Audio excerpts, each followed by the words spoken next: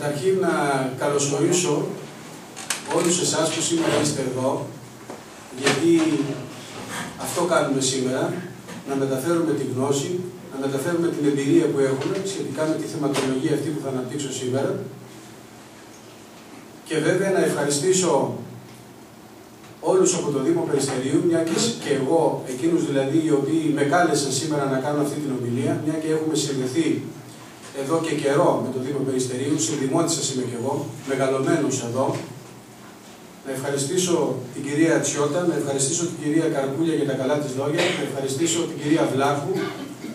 Και θα πρέπει να ξέρετε ότι για το εαρινό εξάμεινο η ακαδημαϊκή κοινότητα του ΤΕΗ θα διαθέσει 4 έως 5 συναδέλφους μου, οι οποίοι θα έρθουν εδώ να μιλήσουν για τα θέματα τα οποία γνωρίζουν καλώς και στα οποία μπορούν να μεταδώσουν τη γνώση τους και σε εσάς ή να φρεσκάρουν αυτά που πιθανόν να έχετε αφήσει στο παρελθόν. Ε, η, εγώ είμαι χημικός. Οι σπουδές μου είναι χημικός και έχω περισσότερο ασχοληθεί με τη διατροφή, με την τεχνολογία τροφίμων, με αυτού του είδους τα θέματα. Θα μου πείτε γιατί επέλεξα αυτό το θέμα. Γιατί θεωρώ τον εαυτό μου περιβαλλοντολόγο.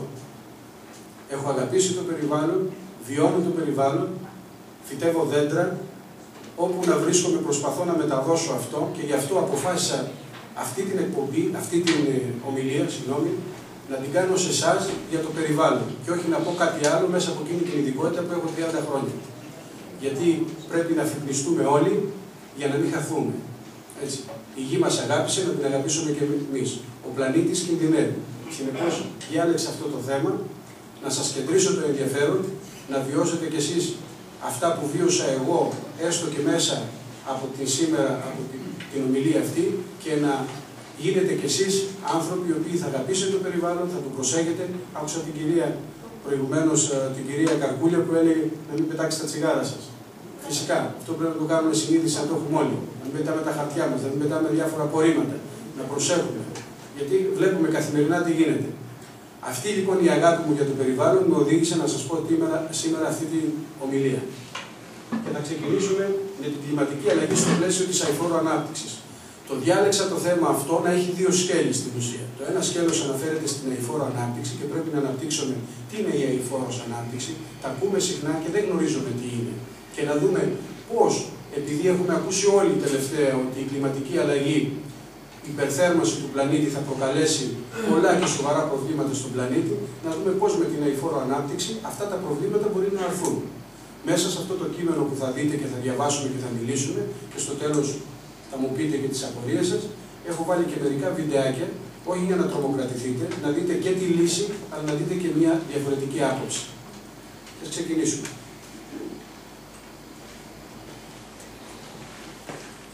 Να δώσουμε μερικούς ορισμούς. Γιατί όπως σας είπα, πρέπει να ξεκινήσουμε να πούμε τι είναι η αηφόρος ανάπτυξη. Όπως βλέπετε, είναι ένας ένας όρος, ο οποίος στα ελληνικά δεν υπήρχε. Είναι μια μετάφραση ενός αγγλικού όρου, development λέγεται, έτσι, δηλαδή η οικονομική ανάπτυξη σε συνδυασμό πάντα με την προστασία του περιβάλλοντος. Αυτό μας ενδιαφέρει. Πώς θα προστατεύσουμε το περιβάλλον, αλλά παράλληλα οικονομικά να αναπτύσσεται μια χώρα, ένας τομέας, μια δράση αλλά να προσέχει πάντα και το περιβάλλον. Και όχι μόνο αυτό. Δηλαδή, στην ουσία, αν δώσουμε ένα καλύτερο ορισμό, τι θα λέγαμε. Θα λέγαμε ότι είναι ένα πρότυπο ανάπτυξης, αυτό έχει πολύ μεγάλη σημασία, που να ανταποκρίνεται στις παρούσες ανάγκες που έχουμε, εμείς δηλαδή, η γενιά η δικιά μας, χωρίς όμως να υποθηκεύει δυνατότητες των μελλοντικών γενναιών. Αυτό είναι το βασικό πρόβλημα, αυτός είναι και ο κανονικός ορισμός. Άρα, εμείς προσέχουμε να προσέχουμε να αναπτύξουμε, να έχουμε μια οικονομική ανάπτυξη, αλλά τα απορρίμματά μας, τα απόβλητά μας να μην δημιουργούν πρόβλημα, θα έλεγα σε εισαγωγικά, σε επόμενες γενιές. Με ένα παράδειγμα, πετάμε τα απορρίμματα που να είναι. Ο υδροφόρος υπορρίζοντα μολύνεται. Οι επόμενες γενιές, τα παιδιά μας, τα εγγόνια μας θα το βρουν στον δρόμο. Αυτό είναι η αηφόρος ανάπτυξη. Αυτό πρέπει να προσέξουμε. Σε τι αποσκοπεί, στο να βελτιώσει τις συνθήκες διαβίωσης των ατόμων, των πολιτών, έτσι, να διαφυλάξει παράλληλα το περιβάλλον, το βάζω πάντα με μαύρο για να το συνδέσουμε με ό,τι λέμε, έτσι, και θα έχει μια βάση βραχυπρόθεσμη, μεσοπρόθεσμη, αλλά κυρίως μακροπρόθεσμη για τις επόμενες γενιές. Είναι λοιπόν η οφόρος ανάπτυξη ένα, έχει ένα τριπλό στόχο, είναι μια οικονομική ανάπτυξη, η οποία όμως θέλουμε να είναι αποτελεσματική, να είναι κοινωνική δίκαιη και φυσικά περιβαλλοντικά βιώσιμη.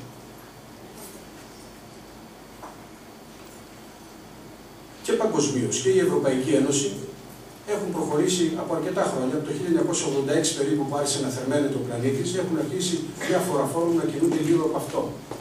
Η Ευρωπαϊκή Ένωση σας λέω ότι είναι πρωτοπόρος όμως αυτό. Πάντα βάζει υψηλότερους στόχους. Άλλοτε τους πετυχαίνει, άλλοτε δεν τους πετυχαίνει, αλλά τουλάχιστον βάζει στόχους. Ενώ υπάρχουν άλλα κράτη που είναι πολύ λιγότερα, έτσι.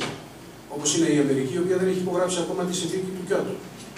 Και είναι ο, ο, ο χειρότερος παγκοσμίως παραγωγός διοξιδίου του άνθρακα στο περιβάλλον. Και δεν το έχει υπογράψει. Τελευταία, το 1993, υπέγραψε η Ρωσία. Ούτε αυτή είχε υπογράψει. Δηλαδή, δύο μεγάλες χώρες, δύο μηχανικές χώρες δεν είχαν υπογράψει.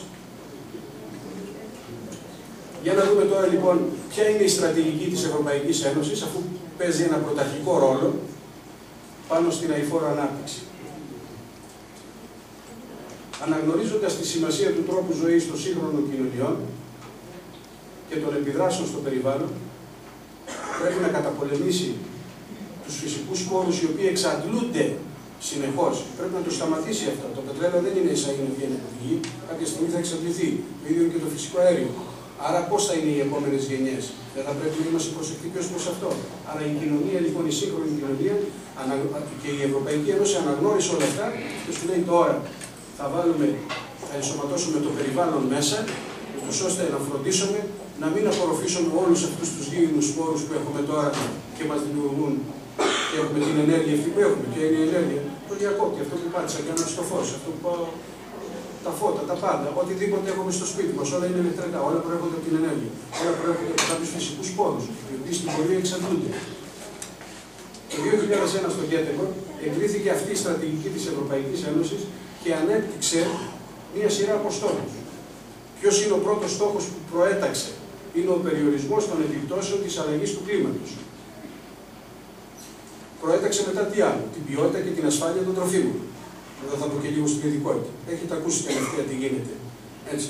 Ξεκινάμε από τις διοξίνε και φτάσαμε και που δεν φτάσαμε. Πάντα υπάρχουν προβλήματα, γι' αυτό υπάρχουν και κανόνες ασφαλείας και συνεχώς ενισχύονται αυτό με κοινωνική νομοθεσία, η οποία εναρμονίζεται το, το ελληνικό κοινοβούλιο με βάση αυτή την, ε, την νομοθεσία. Την εξάρτηση των κινδύνων για την υγεία και το περιβάλλον, πάλι με το περιβάλλον, που συνδέονται με χημικές ουσίες.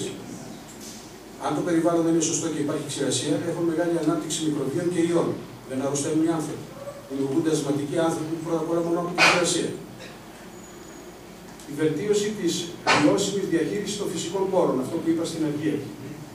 Τη μείωση των ζημιών στη βιοπικιλότητα. Είναι ένα άλλο θέμα που θα σας αναπτύξω την επόμενη φορά. Μια ανεκτήμητη αξία είναι η βιοπικιλότητα. Ξέρετε, το ένα έντομο μπορεί να φάει το άλλο, το ένα φυτό να φάει το άλλο και στο τέλος εξαφανίζονται γέννη και είδη. Αυτό θα το δούμε στην επόμενη ε, συνάντηση που θα έχουμε στις 10 Μαρτίου νομίζω. Τον περιορισμό των δυσμενών συνεπειών των μεταφορών. Οι μεταφορές έχουν μεγάλη συμμετοχή σε αυτό που λέμε κλιματική αλλαγή. Μεγάλη συμμετοχή από τα καυσαέρια, τα αεροπλάνα, ειδικά με την τρύπα του όζοντος, τα αεροπλάνα βγάζουν οξύδιο του αζότου. Αυτό το οξύδιο του αζότου ανεβαίνει πάνω, βρίσκει το όζον, δίνεται μια χημική αντίδραση και σπάει το όζον. Το διαλύει. Και αυτό, αν σπάσει αυτό το στρώμα του όζοντος, η περιόδη ακτινοβολία περνάει μέσα. Και όταν περνάσει η περιόδη ακτινοβολία, θερμαίνεται περισσότερο η γη και δημιουργούνται εγκάβματα, καρκίνη του δέρματος και ξηρασία γενικώς. Με όλα τα συνεπακόλουθα της ξηρασίας.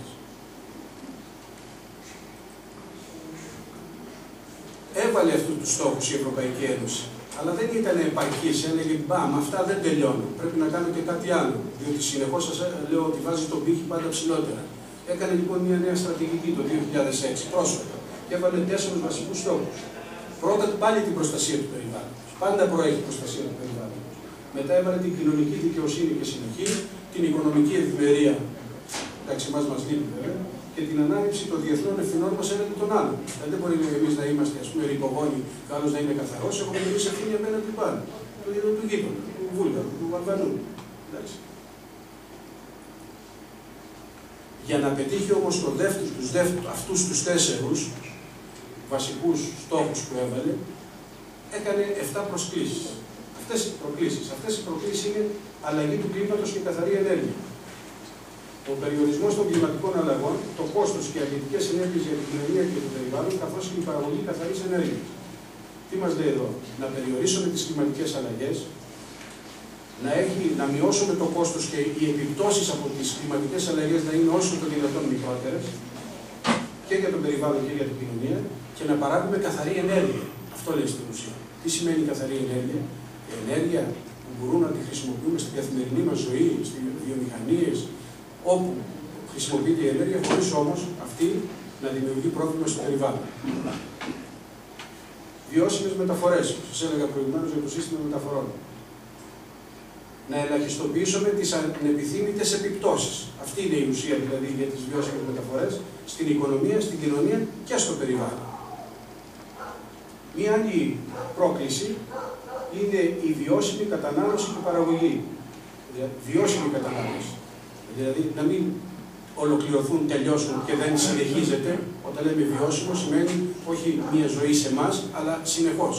Άρα πρέπει εμείς να βάλουμε μέτρα, να βάλουμε πλαίσια που να πούμε τώρα η εξόριξη ξέρω εγώ, του πετρελαίου, του φυσικού αερίου, του, του, του ορυκτού, δεν ξέρω το οτιδήποτε είναι, θα είναι για τα επόμενα 200 χρόνια. Αυτό είναι μια βιώσιμη. Ξέρουμε ότι μέχρι 200 χρόνια θα βγαίνει. Διαφορετικά, αν το πλακώσουμε όλο και τα πάρουμε όλα, την επόμενη μέρα, τον επόμενο μήνα, τον επόμενο χρόνο, δεν θα είναι βιώσιμο.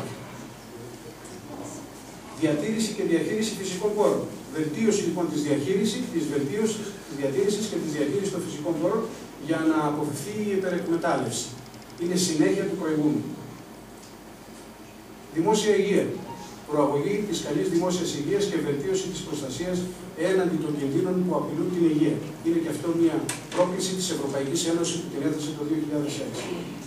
Κοινωνική ένταξη, δημογραφία και μετανάστευση, για να μην καθυστερώ, και προγράμματα παγκόσμια φόρμα και προκλήσεις της αηφόρου ανάπτυξης. Δηλαδή, τι λέει εδώ η αηφόρος ανάπτυξη, αυτό που είπαμε προηγουμένως, να φροντίζουμε τις μελλοντικές μας γενιές, να ανταποκρινόμαστε σε αυτό. Πρέπει αυτό να αναπτυχθεί σε ολόκληρο τον κόσμο.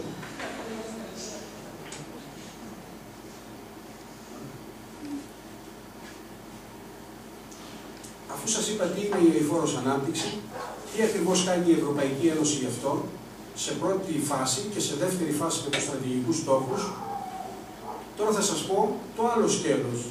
Τι σημαίνει κλιματικό σύστημα, τι είναι ο καιρός, δηλαδή λέμε ο καιρός. Κάθε μέρα ακούμε το, το μετεωρολογικό δελτίο. Καταλαβαίνουμε τι είναι ο καιρός. Να το ξαναεννοήσουμε, να το καταλάβουμε πώς είναι. Τι είναι το κλίμα και πώς στην ουσία μετά το κλίμα μετατρέπεται σε κλιματική αλλαγή. Πώς αλλάζει δηλαδή το κλίμα. Άρα καιρός είναι μια κατάσταση που δημιουργείται στην ατμόσφαιρα, η οποία δεν διαρκεί πολύ. Μπορεί να είναι μερικές μέρες, μπορεί να είναι και μερικούς μήνες. Είναι το καθημερινό που ακούμε στο δελτίο ειδήσεων, είναι ο καιρός. Πώς είναι δηλαδή οι συνθήκε στην ατμόσφαιρα. Εντάξει.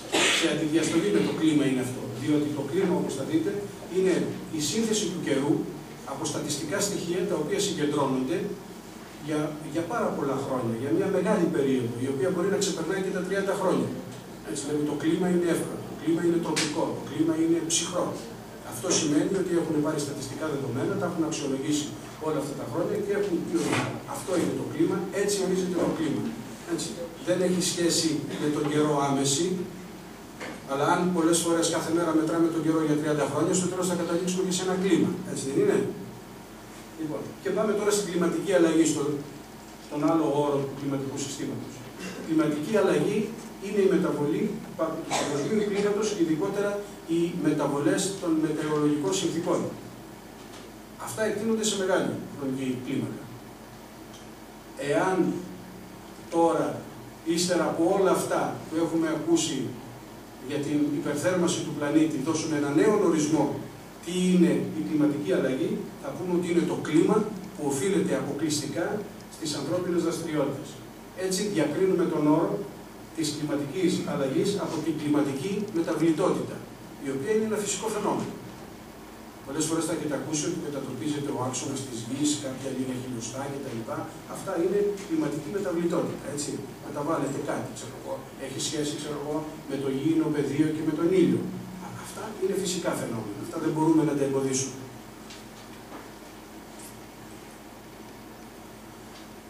Αφού φτάσαμε λοιπόν στο ορίσαμε τι είναι η κλιματική αλλαγή, να δούμε σε συντομία και τι είναι το φαινόμενο του θερμοκηπίου. Θα Θα σας το πω με λίγα λόγια, αν θέλει κάποιος το διαβάζει, θα σας το πω με λίγα λόγια. Τι ακριβώς είναι. Το φαινόμενο του θερμοκηπίου είναι φυσικό φαινόμενο. Δεν είναι κάτι το οποίο το δημιουργήσαμε τώρα εμείς. Υπήρχε πάρα πολλά χρόνια πριν από τότε που εμφανίστηκε η γη κτλ. Και, και δημιουργήθηκε η ατμόσφαιρα, η τροπόσφαιρα.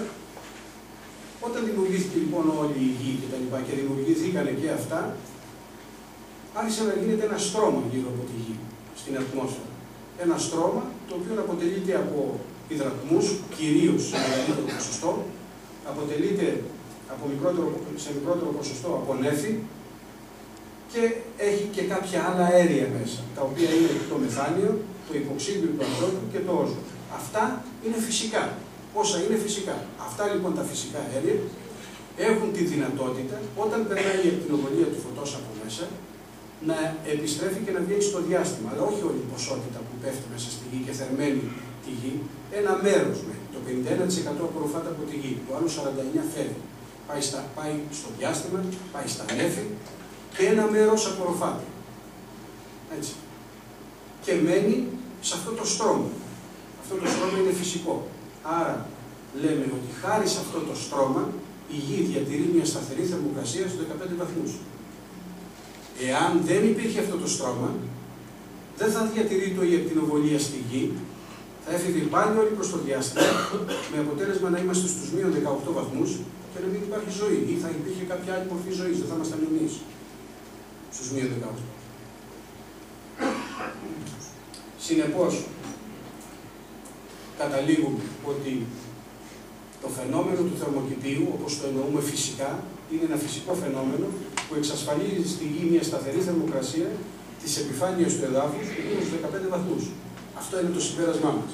Άρα η φύση έχει προνοήσει ότι πράγματι πρέπει να υπάρχει αυτό το στρώμα που υπάρχει στην ατμόσφαιρα από υδρατμού και από τα νέφη και από το του, διοξίδιο του άνθρακα, του, του, υποξίδιο του, ναι, διοξίδιο του άνθρακα, υποξίδιο του αζότου και όζο, το οποίο είναι φυσικά. Υπάρχουν φυσικά από τη φύση, από μόνα τους. Αυτά λοιπόν μας διατηρούν τη θερμοκρασία στη γη στους 15 βαθμούς, συνεπώς υπάρχει ζωή, διαφορετικά θα πηγαίναμε πολύ πίσω στους μείον 18 και δεν θα ξέρω αν υπήρχε ζωή στους μείον 18, τουλάχιστον με τη μορφή που την ξέρουμε σήμερα, τη δική μας. Δέστε το τώρα σε αυτές τις δύο εικόνες. Βλέπουμε τον ήλιο, εδώ, η ακτινοβολία έρχεται μέσα στη γη, γύρω από αυτό το μπλε που βλέπετε είναι η ατμόσφαιρα, αυτό που γυρίζει γύρω γύρω, και ένα μέρος φεύγει προς τα έξω προς το διάστημα και ένα άλλο μέρος επιστρέφει μέσα στην ατμόσφαιρα. Τα βλέπετε αυτά τα μικρά τα κλονίδια που φέρνουν.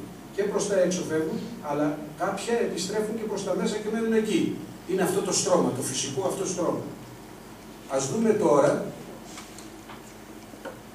στο διπλανό σχήμα πιο απλοποιημένο. Η εισερχόμενη ηλιακή ακτινοβολία 100% απορροφάται το 51% από το έδαφος.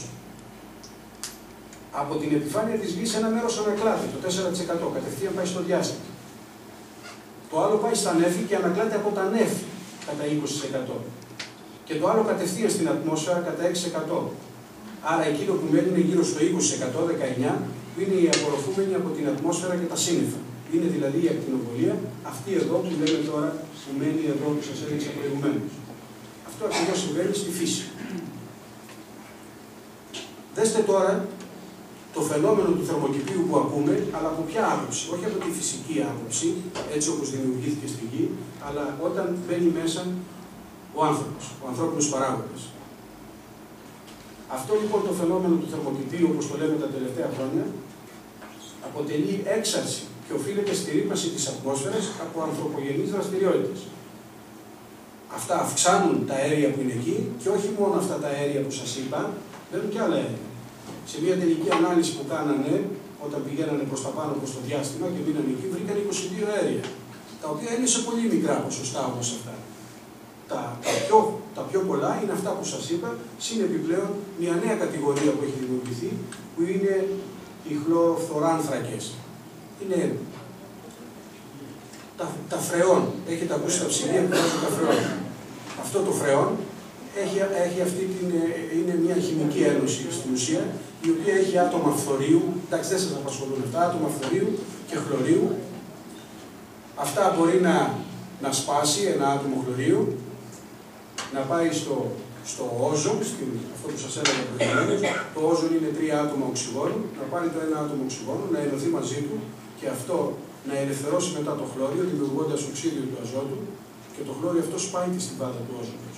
Αυτοί λοιπόν οι χλωροφθοράνθρακες, όπως λέγονται, είναι πολλές κατηγορίες, ανάλογα με το πόσα χλώρια έχουν και πόσα φθόρια έχουν, δημιουργούν και αυτοί ένα τεράστιο πρόβλημα. Όπως θα δείτε παρακάτω σε μια πίτα, θα διαπιστώσετε ότι στη συμμετοχή της κλιματικής αλλαγής είναι και αυτή η συμμετοχή τους νομίζω γύρω στο 9% αν θυμάμαι καλά.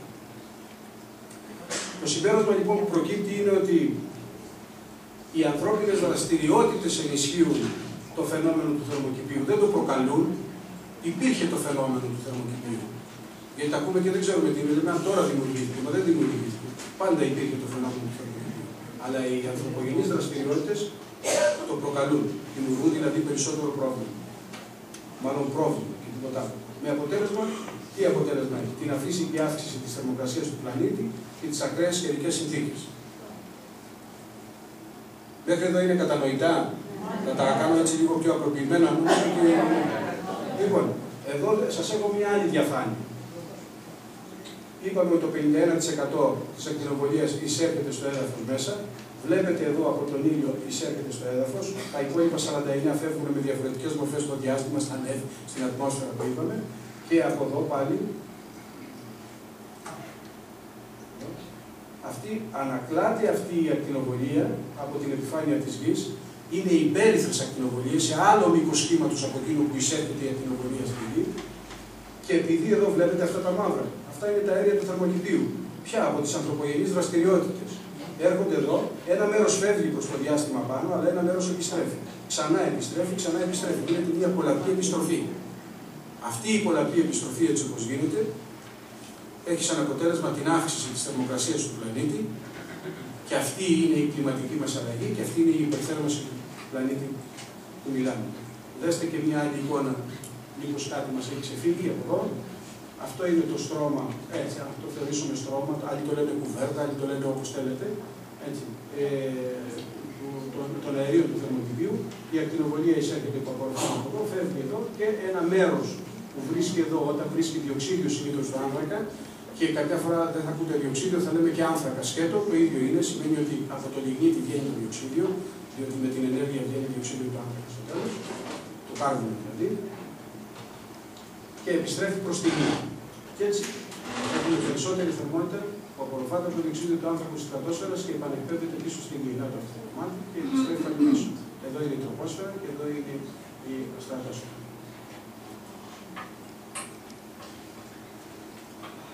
αυτό που σας είπα προηγουμένως, δηλαδή ότι η διαδικασία αύξησης της θερμοκρασίας της γης, που ονομάσαμε υπερθέρμανση του πλανήτη, και αυτή η οποία ονομάζεται και κλιματική αλλαγή. Λοιπόν, και πού οφείλει. Στις εκπομπές αυτών των αερίων. Αυτά τα έξι αέρια που είναι τα πιο δύσκολα αέρια, 22 για πει ότι έχουν βρει, αλλά στην μεγαλύτερη συνολογία είναι αυτά τα έξι. Τα οποία παγιδεύουν τη θερμοκρασία εκεί και αυξάνουν τη θερμοκρασία της γης. Συνήθως ανεβαίνει ένα δεκαετία 0,3 βαθμούς, όπως θα δούμε πιο κάτω. Εδώ έχω φτιάξει ένα πίνακα που μου δείχνει το διοξείδιο του άνθρακα, τον άνθρακα εδώ. Εδώ είναι το μεθάνιο, ένα άλλο αέριο. Εδώ είναι τα οξύδια του αζότου, είτε είναι υποξίδιο είτε άλλα οξύδια, το διοξίδιο. Εδώ είναι οι χλωροφθοράνθρακε και εδώ είναι το όζο. Θα προσέξουμε αυτό, ότι το 1975 ναι, είχαμε 280 ppm, μέρη στο εκατομμύριο είναι αυτά μικρή ποσότητα. Είναι ένα προς ένα εκατομμύριο. Τώρα έχουν γίνει αυτά το 2012 396. Δηλαδή έχουμε μια αύξηση 38%. Και πού οφείλεται αυτό, έχω γράψει στο πλάι ότι οφείλεται στην οργανική αποσύνθεση, στις πυρκαγιέ, καύσιμα, όλα αυτά. Έχουμε λοιπόν μια μεγάλη αύξηση. Το ίδιο συμβαίνει και με το μεθάνιο. Αλλά το μεθάνιο είναι λιγότερο επικίνδυνο από ότι είναι το διοξίδιο του άνθρακα. Γι' αυτό έχουμε μείνει εκεί. Πώς βγαίνει το μεθάνιο, από τους υγρότοπους, η οργανική αποσύνθεση. Έτσι. Οτιδήποτε είναι που είναι αναερόβια ζύμωση βγάζει μεθάνιο. Από τερμίτες, από φυσικό αέριο, από ο, καύση βιομάζας, ριζοκαλλιέργειες, μέχρι και τα ζώα ακόμα. Έτσι. Και τα ζώα ακόμα βγάζουν μεθάνιο. Το κόκκινο. Το μονοξίδιο ή τα οξύδια του αζότου, όπως θέλετε, πέστε, που είναι διάφορα απορρίμματα, καλλιέργειες, λιπάσματα κυρίως, γιατί έχουμε αζωτούχα λιπάσματα, καύσιμη ομάζας, καύσιμα. Και οι φθοράνθρακε, που είναι ψυγεία, ψεκασμοί, απορριπαντικά, αεροδρούμενα, μέχρι και τα σπρέι που βάζουν στην ασφάλεια έχουν στα μαλλιά τους οι κυρίες. Και το όζον, το οποίο ποικίλει, εξαρτάται. Δεν μπορούμε να πάρουμε, παίρνουμε μετρήσιμα αποτελέσματα, αλλά ε, εξαρτάται τώρα τις γενικότερες συνθήκες της ατμόσφαιρας. Δηλαδή στις περιόδους του, του καλοκαιριού έχει, είναι αυξημένη η ποσότητα. Στις περιόδους του χειμώνα είναι μικρότερη η ποσότητα. Και γι' αυτό έχω γράψει ποικίλει.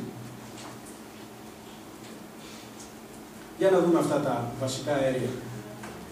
Το πρώτο είναι το διοξείδιο του άνθρακα. Από τη μια μεριά, από την αριστερή μεριά στον κάθετο άξονα, μου λέει τα ppm, δηλαδή τα μέρη στο εκατομμύριο. Κοντεύει να φτάσει στα 400 όπως βλέπετε και είμαστε στο 2010. Τώρα 14, αν πάτε προς τα πάνω, είναι ακριβώς ο, ο προηγούμενος πίνακας που σας έδειξα. Είναι τα 396.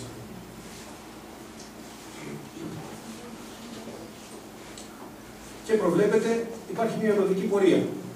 Ανωδική πορεία υπάρχει και για το οξύδιο του αζότου, ανωδική πορεία υπάρχει και για το μεθάνιο και οι διάφοροι χλωροφθοράνθρακες είναι διαφορετικά. Είδα, σας είπα, εξαρτάται πόσα φθόρια έχει, πόσα φθόρια έχει ε, ε, αυτό. Πάντα υπάρχει όμως μια αύξηση σε όλα. Όπως βλέπετε αυτός ο 12, υπάρχει μια αύξηση και μια οριζοντιοποίηση γύρω στα 500. Αυτά όμως είναι στο 3 εκατομμύριο. Είναι μέρη στο 3 εκατομμύριο. Είναι πολύ μικρές οι ποσότητες. Και τώρα έχουν αρχίσει να αντικαθιστούν και το φρέον, ξέρετε. Έχει, υπάρχει μια ολόκληρη νομοθεσία της Ευρωπαϊκής Ένωσης το 2009, νομίζω πέρασε και από το Εθνικό Κοινοβούλιο, που κατήργησε μέσα στα διάφορα ε, να υπάρχει, να υπάρχει φρέον. Έχουν βάλει άλλες ουσίες, μπορεί να έχουν βάλει οξυγόνο, να έχουν βάλει όζο, να έχουν βάλει άλλα πράγματα. Έτσι. Οι επιταχυντές όπως λέγονται. Το μεθάνιο είναι σε μέρη στο δισεκατομμύριο. Μέρη στο δισεκατομμύριο είναι το οξύδιο του αζότου, αλλά μέρη στο εκατομμύριο είναι το διοξίδιο, που είναι το πιο φοβερό. Άλλο να λέμε ένα προς ένα δισεκατομμύριο, άλλο προς ένα ένα εκατομμύριο και άλλο ένα προς ένα τρισεκατομμύριο. Άρα καταλήγουμε ότι το διοξίδιο του άνθρακα είναι ο βασικός συντελεστής των κλιματικών αλλαγών. Όσο αυξάνονται οι ανθρώπινες δραστηριότητες, τόσο οι εκπομπές των αερίων του θερμοκηπίου, όλων αυτών των τριών που είπαμε, διοξίδιο, μεθάνιο και οξύδιο του αζότου, αναπτύσσονται στην ατμόσφαιρα. Αυτές οι εκπομπές διοξιδίου είναι 12 φορές υψηλότερες από ό,τι ήταν το 1900. Και τα δύο τρίτα περίπου της ρήπανσης με αέρια του θερμοκηπίου προέρχονται από το διοξίδιο του άνθρακα. Το οποίο διοξίδιο του άνθρακα εκπέμπεται από την καύση των ορυκτών καυσίμων, το κάρβουνο, το πετρέλαιο και τη βενζίνη. Άρα ο κύριος ένοχος, μπορούμε να πούμε και να το τελειώσουμε το θέμα αυτό, είναι το διοξείδιο του άνθρακα. Αυτό είναι που δημιουργεί το μεγαλύτερο πρόβλημα. Δέστε το τώρα σε αυτή την πίτα, εδώ. Το 60% είναι που, που δημιουργεί το πρόβλημα, για τη συμμετοχή μιλάμε τώρα το ρήπο, το 60% είναι διοξείδιο του άνθρακα το μεθάνιο είναι το 15%,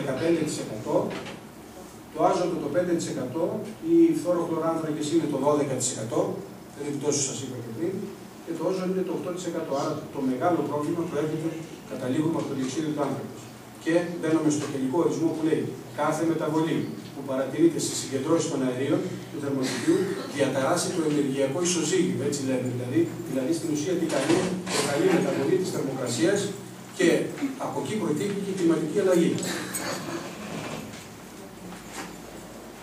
Πού οφείλεται, το είπαμε εν ολίγης, ότι είπαμε στα ορυκτά καύσιμα βενζίνη και πετρέλαιο το διοξίδιο. Αλλά δεν είναι μόνο αυτό, είναι και άλλα. Δεν είναι μόνο αυτά τα τρία. Είναι και άλλα σημεία στα οποία οφείλεται η παραγωγή του διοξιδίου του άνθρακα που μολύνει την ατμόσφαιρα. Είναι τα καυσαέρια των οχημάτων και των βιομηχανιών. Είναι οι πυρκαγιές και κυρίως στη μείωση των δασών που αποτελούν τον καλύτερο φυσικό απορροφητήρα διοξιδίου στη γη. Ξέρετε, το δέντρο απορροφά το διοξίδιο του άνθρακα. Και στην αυξανόμενη χρήση των λοιπασμάτων. Το διοξίδιο του άνθρακα έχει μεγάλο χρόνο ζωής, τουλάχιστον 100 χρόνια. 100 χρόνια μπορεί να μείνει στην ατμόσφαιρα. Και ένας υπολογισμός λέει ότι για να γυρίσουμε στα επίπεδα που είχε το φυσικό διοξίδιο του άνθρακα που ήταν στο φυσικό θερμι, ε, ε, φαινόμενο του θερμοκηπίου, τότε θα πρέπει να περάσουμε τουλάχιστον αιώνες, δύο και τρεις αιώνες. Αυτό τι μας λέει, πρέπει να είμαστε πάρα πολύ προσεκτικοί και να αξιοποιήσουμε εκείνα που είπαμε στην αρχή, δηλαδή να κάνουμε την εφόρο ανάπτυξη, την οποία θα δούμε παρακάτω πώς γίνεται στην Ευρώπη και στην Ελλάδα. Για να δούμε τώρα τι μπορεί να προκύψει από την κλιματική αλλαγή, τι έχουν βγάλει οι επιστήμονες όταν χρησιμοποιούν μαθηματικά μοντέλα, τα, τα λεγόμενα General Circulation Model, τα οποία προβλέπουν εξελίξεις στο μέλλον και δείχνουν, όπως σας είπα και προηγουμένως, ότι η αύξηση της θερμοκρασίας της γης θα είναι 0,3 βαθμούς ανά δεκαετία για τα επόμενα 100 χρόνια. Μπορεί να το βλέπουμε λίγο 0,3. Αλλά θα δείτε ότι στο τέλος θα καταλήξουμε ότι αν μέχρι 100 χρόνια μπορεί η θερμοκρασία να ανεβεί μέχρι 5 και 6 βαθμούς. 5 και 6 βαθμούς έχουμε καύσονε. Θα δείτε δηλαδή ακριβώς πώς υπολογίζουν οι επιστήμονες, αν συνεχιστεί αυτό το πράγμα, τι ακριβώς θα συμβεί στην πορεία, στο μέλλον, σε εμάς, στον πλανήτη, στη ζωή μας φυσικά. Ένα πιθανό σενάριο, το οποίο βγήκε στην τέταρτη έκθεση αξιολόγηση της Διακυβερνητικής Επιτροπής για την Αλλαγή του Κλίματος το 2007, είναι πρόσφατα τα νούμερα αυτά, μας λέει ότι αν δεν μειωθεί η εκπομπή των αερίων του θερμοκηπίου, η παγκόσμια μέση θερμοκρασία της επιφάνειας τη γη θα αυξηθεί από 1,1 έως 6,4 μέχρι το 2100 σε σχέση με τα επίπεδα του 1990. Με μία πιθανότητα, μία, με πιθανότητα μία άνοδο κατά 1,8 έως 4 βαθμούς. Λένε ένα μεγάλο εύρος, το κατώτερο και το ανώτερο, αλλά η μεγαλύτερη πιθανότητα είναι από 8 έως 4 βαθμούς να ανεβεί η θερμοκρασία. Καταλαβαίνετε το καλοκαίρι που έχουμε εμείς 44 βαθμούς στην Αθήνα, να ανεβεί άλλος 4 να γίνει 48. Θα πάρει τον πετό φωτιά. Δεν γίνεται. Αντιλαμβάνεστε λοιπόν ότι το θέμα είναι πάρα πολύ σοβαρό. Αυτό το πράγμα εμένα με έκανε να αγαπήσω το περιβάλλον και να πω εντάξει θα αφήσω λίγο τα τρόφιμα και την ιστορία τους και τη διατροφή και τη διαιτητική στην άκρη, θα ασχοληθώ λίγο με την κλιματική αλλαγή που είναι, δεν το καταλαβαίνουμε. Γιατί με την καθημερινότητά μας όλοι, όλοι προκαλούμε, όλοι δημιουργούμε πρόβλημα. Πρόβλημα στην ατμόσφαιρα, πρόβλημα στη γη, δηλαδή τα βάλαμε στον πλανήτη. Αυτός μας έφερε εδώ, εμείς τα βάλαμε μαζί του. Δεν θα την κερδίσουμε, θα χάσουμε. Και πρώτα θα χαθούμε εμείς και μετά θα χαθεί ο πλανήτη.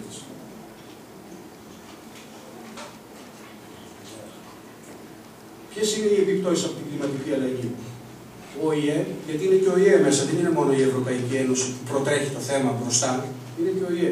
Λέει ότι η αύξηση θερμοκρασίας της γης δεν πρέπει να φτάσει ποτέ πάνω από τους δύο βαθμούς που είναι σήμερα. Δηλαδή 15 έχουμε να μην πάει 17. Η, η μέση έτσι, η τιμή. Δεν μιλάω για τις θερμούς μήνες κτλ. Σε όλο τον χρόνο πώς είναι η μέση.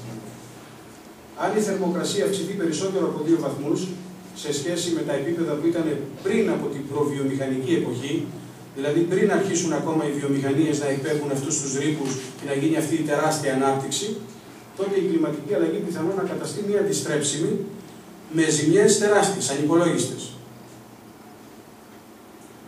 Τι μπορεί να γίνει; Η ανύψωση της τάφη των θαλασσών λόγω τύψεω των πάγων στους πόλους ως το τέλος του αιώνα, κατά 18 έως 60 χιλιοστά εκατοστά. Αυτό τι θα κάνει; Θα οδηγήσει περιοχές της γης που έχουν χαμηλό υψόμετρο και μεγάλα τμήματα από τις ευρωπαϊκές χώρες να καταβυθιστούν, να αφανιστούν, ενώ θα ανέρχεται η στάθμη των θαλασσών. Θα ακολουθήσει η ερημοποίηση εκτεταμένων περιοχών της περιοχής της δική μας, της εύκρατης ζώνης, με μετακίνηση των ζωνών, όπως θα δούμε και σε ένα χάρτη πιο κάτω, προς τα πάνω. Δηλαδή θα πηγαίνουμε στην Αυστρία για διακοπές γιατί η Ελλάδα θα είναι πάρα πολύ θερμή χώρα και δεν μπορούμε να το αντέξουμε. Θα μας έχει γίνει σαχάρα κατά κάποιο τρόπο. Τα ακραία καιρικά φαινόμενα. Τα ζούμε και τώρα, δεν τα ζούμε. Πλημμύρες δεν τα βλέπουμε κάθε μέρα. Καύσονες, ξηρασία και όλα αυτά. Αυτά θα είναι συχνότερα. Και αυτά τι έχουν, τι πρόβλημα έχουν; Οικονομικό κόστος. Έγινε ο τυφώνας, καταστρέφηκαν τόσα σπίτια, μείνανε τόσοι άνθρωποι άστεγοι, πληρώνει η πολιτεία. Αυτά όλα έχουν οικονομικό κόστος. Όλα αυτά προέρχονται κατά τους επιστήμονες, κατά το μέγιστο μέρος των επιστημόνων, από αυτό το πράγμα, έτσι, από την κλιματική αλλαγή, από την υπερθέρμανση του πλανήτη. Έχω βάλει ένα βιντεάκι μικρό για να δείτε τι ακριβώς παίζεται και με εικόνα, να μην το λέμε μόνο με λόγια,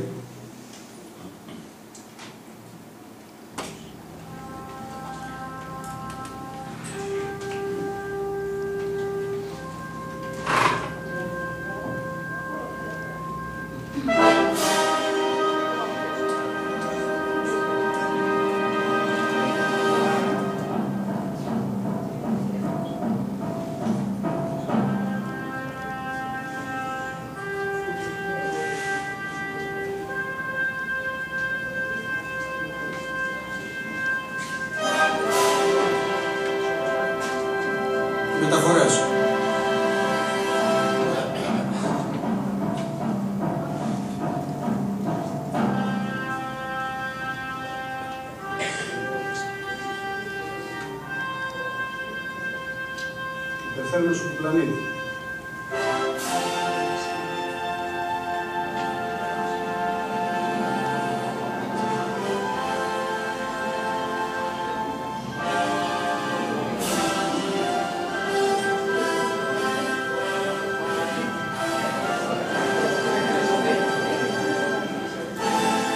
Τα ζωάκια. Έτσι είναι η ερημοποίηση.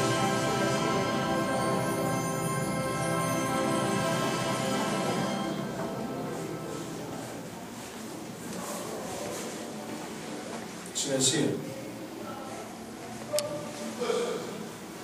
Τι κριτήρια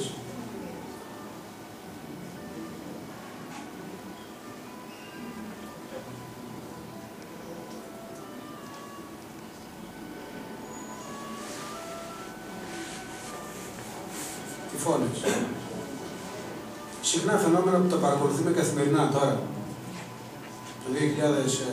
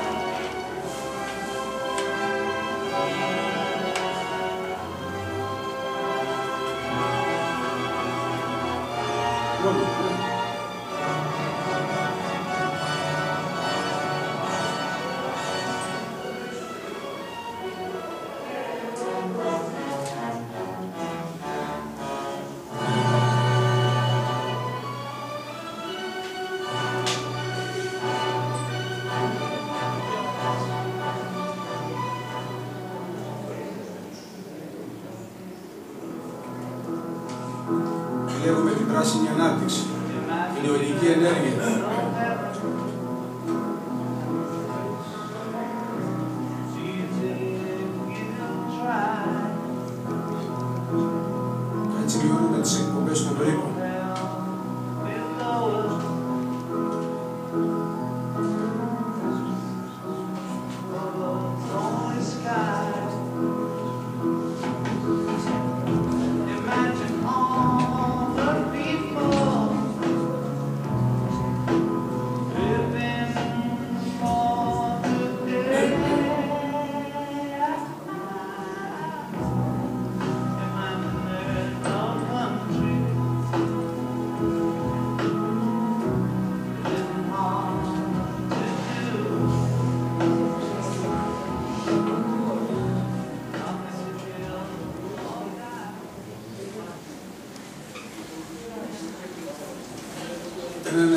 διαλυματάκι, αυτό δεν σας καταπίεσα έτσι, με αυτά που σας έδειξα, αλλά επειδή πρέπει να τα πούμε, πρέπει να, να, να δείξουμε τον ιδιαίτερο σεβασμό στο περιβάλλον και στη γη που κατοικούμε.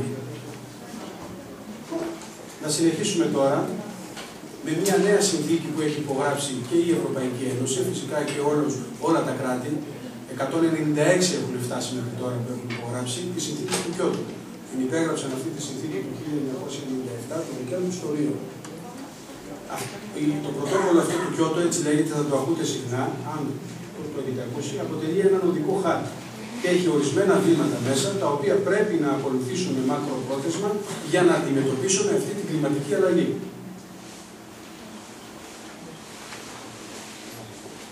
Ε, το 168 ότι έχουν υπογράψει είναι το πιο πρόσφατο στοιχείο του 2014, έχουμε πάει στα 198, γιατί δεν είχαν υπογράψει όλα τα κράτη. Και τέθηκε σε ισχύ στις 16 Φεβρουαρίου του 2005, μετά την υπογραφή από τη Ρωσία. Σας το είπα στην αρχή, αντίθετα οι Ηνωμένες Πολιτείες αρνούνται να υπογράψουν παρά το γεγονός ότι αποτελούν παγκοσμίως το μεγαλύτερο ρηπαντή. Ακόμα δεν έχουν υπογράψει. Στην ομάδα αυτή συμμετέχουν ανεπτυγμένα κράτη, των οποίων εκπομπέ αντιστοιχούν στο 61,6% των συνολικών εκπομπών του διοξιδίου του άνθρακα. Δηλαδή τα ανεπτυγμένα κράτη κάνουν τη μεγαλύτερη ζημιά. Βέβαια, κάτω στην Αφρική δεν την κάνουν. Σύμφωνα λοιπόν με το πρωτόκολλο του Κιώτο,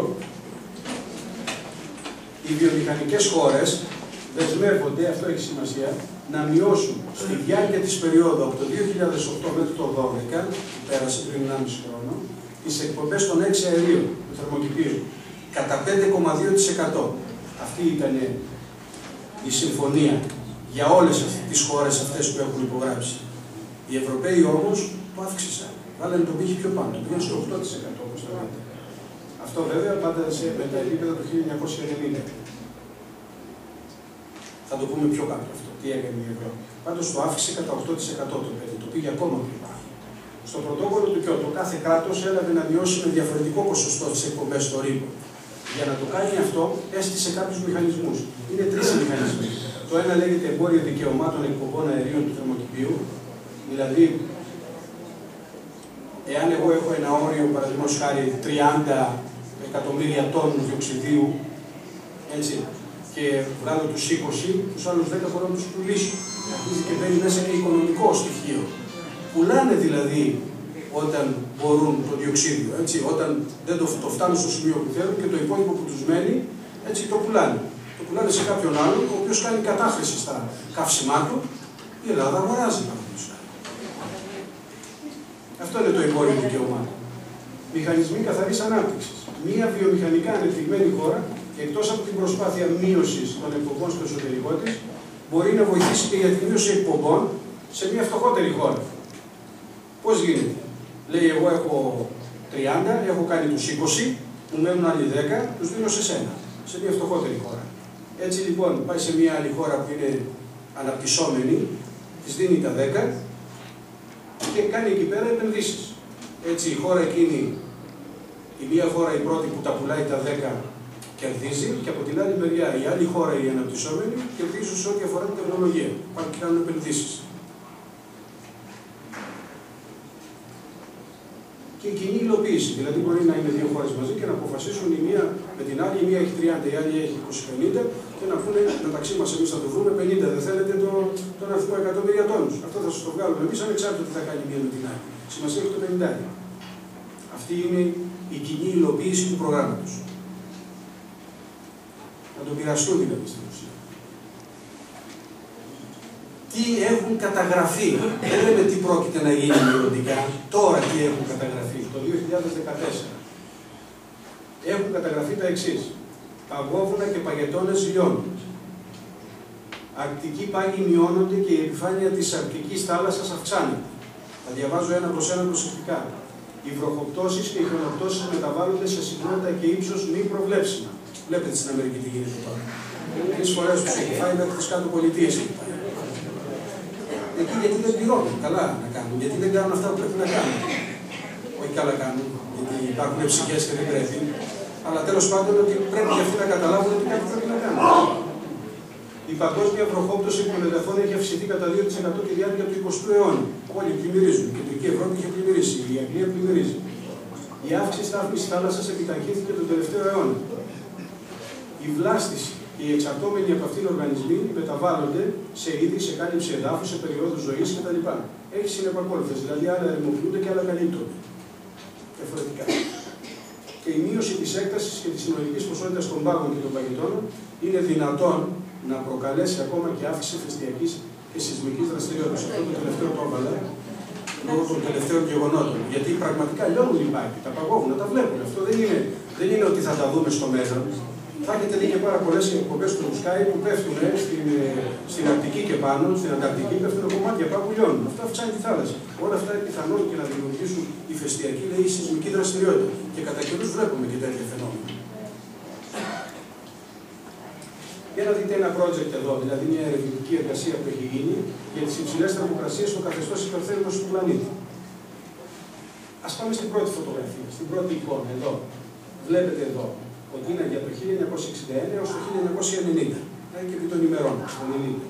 Τι είχαμε εδώ πέρα, είναι τροπικές νύχτες, είναι από εδώ έως εδώ, μας λέει για τη θερμοκρασία των τροπικών νυχτών.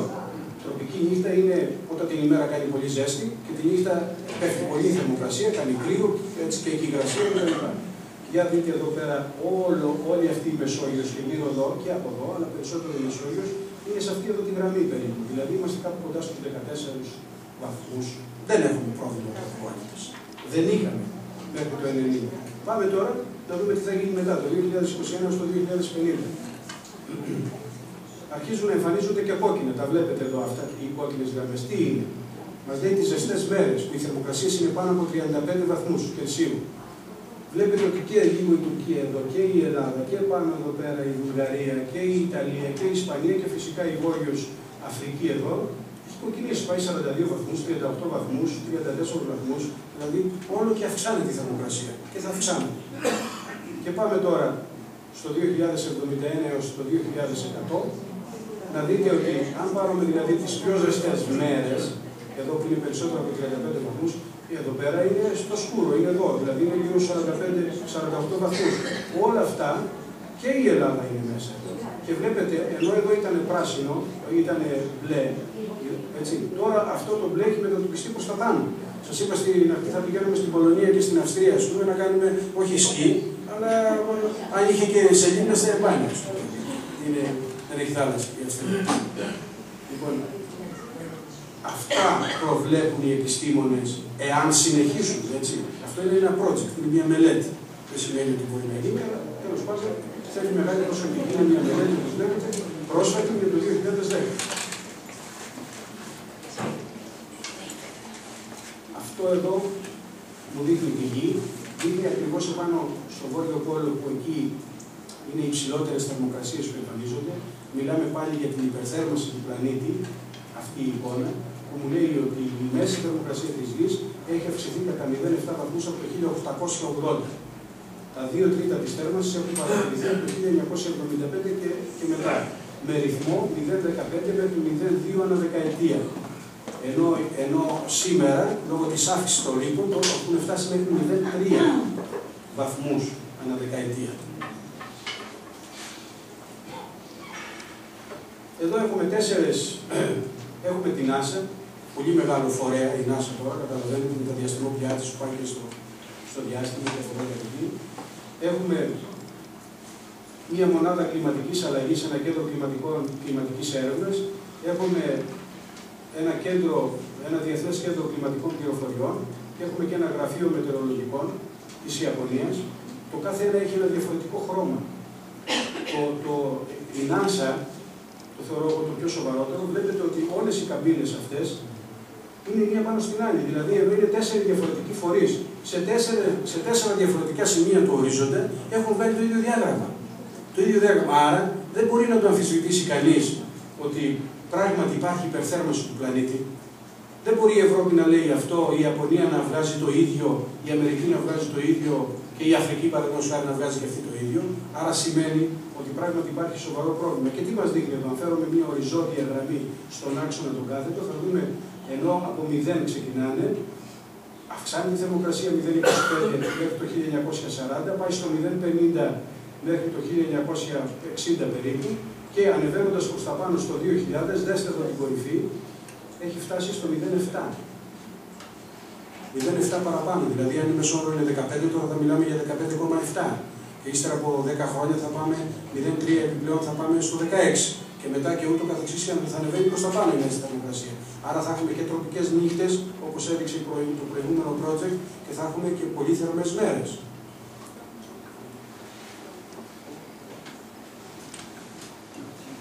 Σύμφωνα με μια διακυβερνητική επιτροπή για την κλιματική αλλαγή, έτσι λέγεται μεταφρασμένη, αυτά τα αποτελέσματα δεν είναι μελετητικά, με την έννοια ότι μελλοντικά θα δούμε τι θα γίνει, είναι αυτά που συμβαίνουν, όπως σας έδειξε και προηγουμένως τι θα συμβεί. Δηλαδή, η παγκόσμια μέση θερμοκρασία το 12 ήταν 14,6. Είναι μετρημένη η θερμοκρασία. Θα δείτε μια, ακόμα ένα γράφημα που έχω πιο κάτω και θα το διαπιστώσετε. Δηλαδή κατά ένα βαθμό θερμότερη από το μέσο όρο του 20ου αιώνα. Οι μετρήσεις αναδεκαετία δείχνουν ότι υπάρχει σταδιακή αύξηση θερμοκρασίας του πλανήτη, η οποία έχει φτάσει, για το 12 μιλάω, στους δύο βαθμούς. Η, η τελευταία δεκαετία είναι η θερμότερη. Ενώ κάθε δεκαετία είναι θερμότερη από την προηγούμενη. Αυτά είναι τα αποτελέσματα των μελετών μέχρι τώρα. Ο 20ο αιώνας υπήρξε ο θερμότερος της τελευταίας χιλιετίας. Και το 2010 καταγράφηκε το θερμότερο έτος της τελευταίας 25 ετίας. Εκατοκαταετίας. Το 2012 ήταν το ένατο θερμότερο έτος από το 1880, ενώ στην Αμερική ήταν το θερμότερο έτος με τις υψηλότερες καλοκαιρινές θερμοκρασίες που έχουν καταγραφεί από τα μέσα του 20ου αιώνα. Τα εννέα θερμότερα έτη έχουν καταγραφεί μετά το 2000. Ενώ το 2005 και το 2010, όπως είπαμε και στην αρχή, ήταν τα πιο θερμότερα. Θυμάστε πόσες θερμοπληξίες είχαμε και εδώ στο Περιστέρι, γιατί εγώ το θυμάμαι. Το 2005 ήμουν και εγώ καλοκαίρι εδώ, δεν είχα κάνει διακοπές. Έκαιγε ο τείχος του σπιτιού μου, θυμάμαι. Οι υψηλότερες διακυμάνσεις εμφανίζονται κυρίως στο βόρειο ημισφαίριο. Και όπω σας έδειξα προηγουμένως στην Κίο επειδή υπάρχει και τρύπα κόσμος, εκεί είναι περισσότερο αυξημένα τα φαινόμενα αυτά.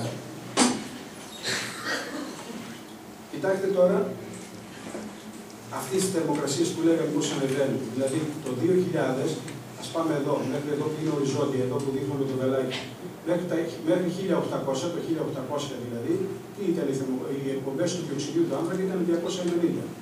Και δέστε τώρα από το 1900 και μετά που αρχίζει η βιομηχανική επανάσταση, που αρχίζουν όλα να δουλεύουν, πώς ανεβαίνει κατακόρυφα. Ανεβαίνει κατακόρυφα και φτάνει εδώ το 2000 δηλαδή, είχαμε 14 14 και 4 είναι εδώ, πάει στο 14 και 5. Αν σκεφτείτε, επειδή εγώ έχω δει τον, και μέχρι το 2013, έχει ανεβεί ακόμα. Κοντεύει να πάει στο 15. Ανεβαίνει συνεχώς.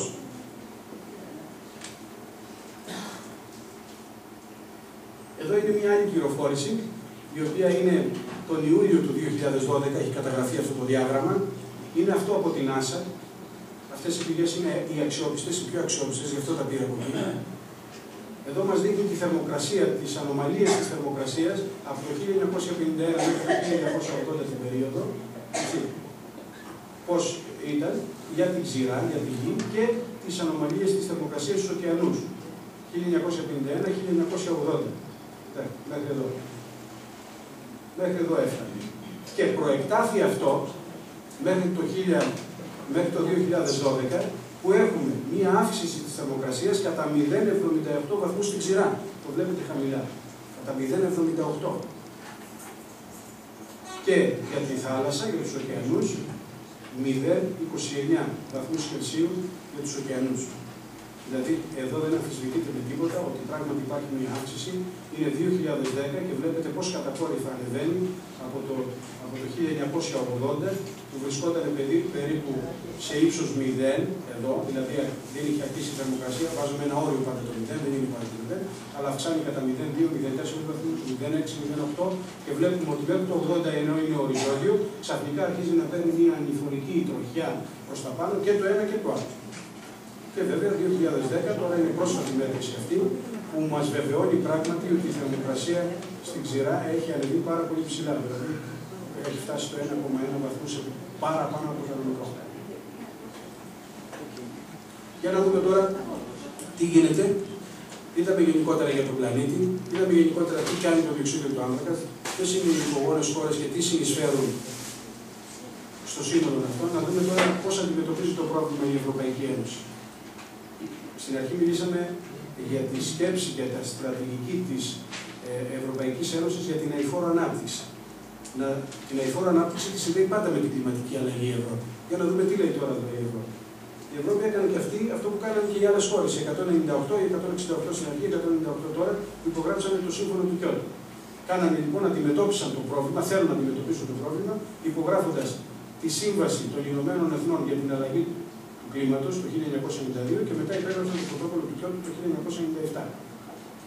Και αποφάσισε να αντιμετωπίσει τις εκπομπές των ευρωπαϊκών χωρών, υιοθετώντας μία σειρά από πολιτικά μέτρα. Ποια είναι αυτά; Τρία, δύο στην ουσία. Είναι το σύστημα δικαιωμάτων εμπορία εκπομπών, είναι αυτό που σας είπα, ο ένας μπορεί να αγοράσει από τον άλλον. Αρχίζει και μπαίνει τώρα και το οικονομικό στοιχείο στη μέση.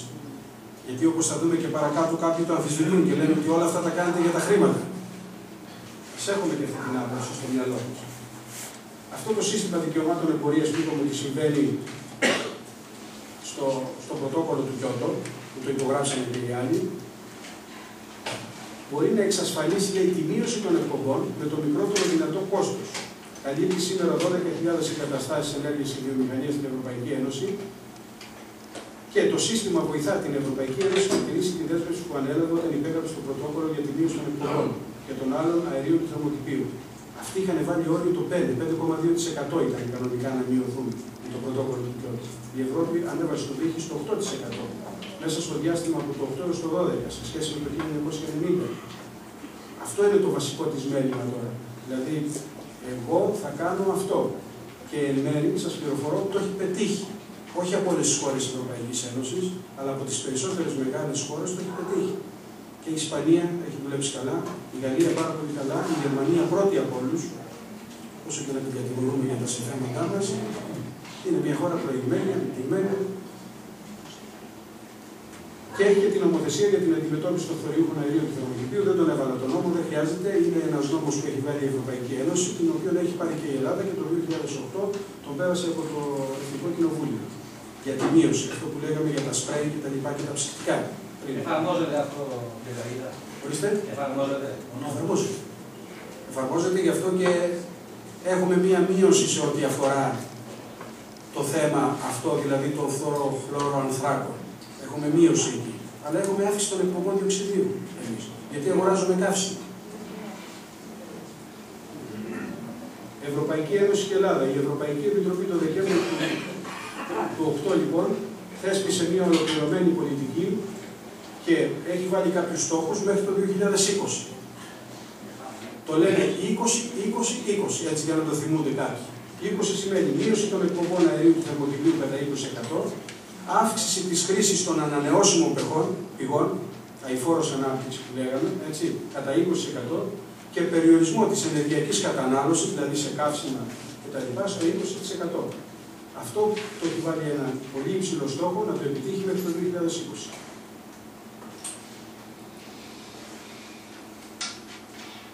Αυτό το όραμα της Ευρωπαϊκής Ένωσης είναι ότι το 2050 η παραγόμενη ενέργεια, γιατί όλα εξαρτώνται από την ενέργεια, στην ενέργεια καταλήγουν όλα αυτά τα καύσιμα κτλ. Προορίζεται για την ηλεκτροδότηση, τη βιομηχανία, τις μεταφορές και τις οικιακές ανάγκες. Κατά 50% όλη αυτή η ενέργεια θα προέρχεται από ανανεώσιμες πηγές ενέργειας. Και ποιες είναι αυτές οι ανανεώσιμες πηγές ενέργειας, τις ακούμε συχνά. Πρέπει να ξέρουμε ότι είναι η αιωλική ενέργεια, έτσι, τα βιοκαύσιμα από την οργανική ύλη, η χρήση του υδρογόνου ως καυσίμου, που κάνει μια πλήρη καύση του υδρογόνου, δεν αφήνει υπολείμματα. Γεωργική ενέργεια, γεωθερμική ενέργεια, αυτό είναι ένα αξιοποιητό κομμάτι στον ελλαδικό χώρο και είμαστε γεμάτοι από γεωθερμικές πηγές. Τώρα έχουν ξεκινήσει κάποια project να γίνονται. Η ηλιακή ενέργεια, παλιριακή ενέργεια, το Ισραήλ έχει, το Ισραήλ έχει ξεκινήσει παλιριακή ενέργεια. Τα κύματα, από τα κύματα χειμώνα παίρνει ενέργεια της θάλασσας και η υδροελεκτρική ενέργεια που έχουμε και εμείς και συνεισφέρει και αυτή θα το δούμε πιο κάτω. Η θερμοκρασία λοιπόν στην Ελλάδα, για να κλείσουμε, μπορεί να αυξηθεί από 3,1 έως 5,1 βαθμούς μέχρι το 2100, ενώ η, μέγιστη, η μέση μέγιστη θερμοκρασία της Αθήνας στους θερινούς μήνες έχει αυξηθεί κατά 1,9 βαθμούς. Το ζούμε αυτό και γι' αυτό το γράψαμε. Τι άλλο μπορεί να συμβεί μέχρι το 2100. Να ανυψωθεί η στάθμη της θάλασσας κατά 50 εκατοστά έως 2 μέτρα, δημιουργώντας σημαντικά προβλήματα στις παράθυνες περιοχές και τα οικοσυστήματα. Δηλαδή η περιοχή της Θεσσαλονίκης είναι η πιο ευάλωτη περιοχές, ο όρμο της Θεσσαλονίκης. Έφερα μόνο αυτό το παράδειγμα για να μην ενοχλήσω τα παρακάτω, γιατί εμείς είμαστε λίγο πιο κάτω. Αλλά αυτό είναι σημαντικό. Υπάρχει μια μελέτη που την έκανε το Εθνικό Αστεροσκοπείο το 2005 και το 2011 η Τράπεζα Ελλάδος, που περίπου τα ίδια είπαν, κατά κάποιο τρόπο, για τις επιπτώσεις που θα έχει η Μεσόγειος γενικότερα, αν αυξηθεί κατά δύο βαθμούς στο, το παγκόσμιο επίπεδο, σε παγκόσμιο επίπεδο, έδειξε λοιπόν ότι η Ελλάδα τι μπορεί, τι μπορεί να υποστεί. Καύσωνα, ξηρασία, περισσότερες πυρκαγιές, πόσιμο νερό, θα υπάρχει πρόβλημα του πόσιμου νερού και ζημιές στις γεωργικές δραστηριότητες. Και η μελέτη λοιπόν αυτή λέει τα εξής. Από την Τράπεζα Ελλάδος το 2011. Μπορεί ο καθένας να μπει μέσα στην Τράπεζα Ελλάδος στο site και να βρει αυτή τη μελέτη ολόκληρη. Είναι πάρα πολύ σημαντική να τη διαβάσει. Μιλάει για την Ελλάδα και παγκοσμίως. Αύξηση κατά 50% των θερινών ημερών για την περίοδο 21-50 και 100% μεταξύ 2071 και 2100.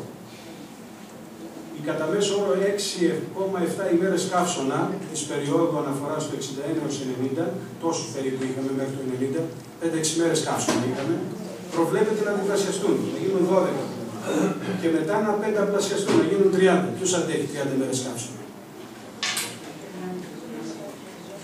Προβλέπονται 30 επιπλέον ημέρες αυξημένου κινδύνου πυρκαγιάς ανά έτος, οι οποίες θα περιοριστούν κυρίως σε ανατολικές περιοχές της χώρας από τη Θράκη μέχρι και την Κρήτη. Και αύξηση θερμοκρασίας φαίνεται να συνοδεύεται από την αύξηση των ψηλών ημερών. Οι περιοχές που θα επηρεαστούν περισσότερο είναι η Ανατολική Στερεά, η Εύβοια, η Θεσσαλία καθώς και τα νησιά του Αιγαίου και η Κρήτη. Αυτές είναι οι επιπτώσεις ύστερα από μελέτες που έχουν γίνει για τις δύο περιόδους από το 2021 έως το 2100.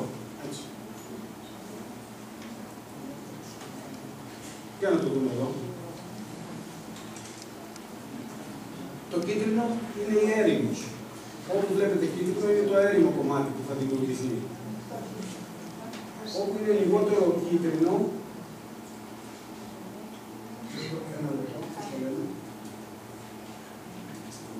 είναι η έρημος.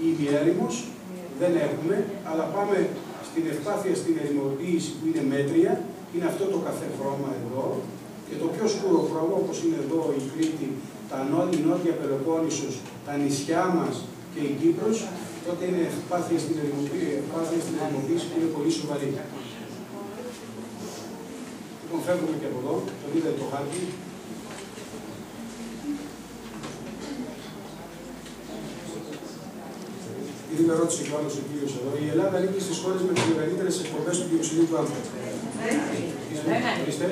Δεν ανήκει, ναι, του διοξιδίου του άνθρακα.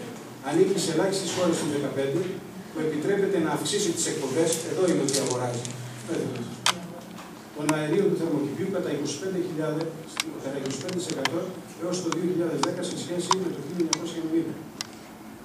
Αγοράζουμε τόνους διοξιδίου του άνθρακα. Πληρώνουμε δηλαδή. Το 2005 η χώρα ξεπέρασε το όριο του 25%, ενώ οι προβλέψεις δείχνουν αύξηση των εθνικών εκπομπών κατά 34,7% το 2010. Προέβλεπαν, έτσι. Τώρα δεν ξέρω πόσο είναι, δεν το βλέπω. Αυτό σημαίνει υπέρβαση του εθνικού στόχου κατά 11 εκατομμύρια ισοδύναμους τόνους διοξιδίου στον παρόντα χρόνο με αυξητικές τάσεις για τα επόμενα χρόνια. Είχε και ένα ποσό χρημάτων δίπλα, αλλά δεν το έβαλε. Πόσο κοστίζουν αυτά, αυτή η αύξηση των 11 εκατομμυρίων ισοδυνάμων τόνου.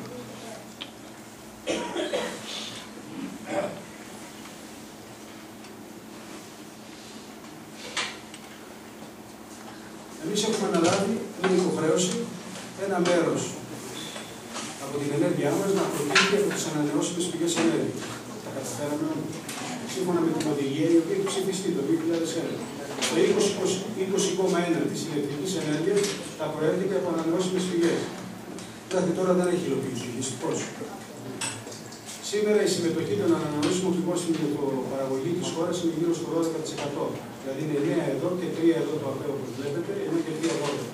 Κάνουμε εισαγωγές ενέργειας από το πετρέλαιο, από το φυσικό αέριο και και με λιγνίτη. 58% είναι το λιγνίτη, είναι το πράγμα.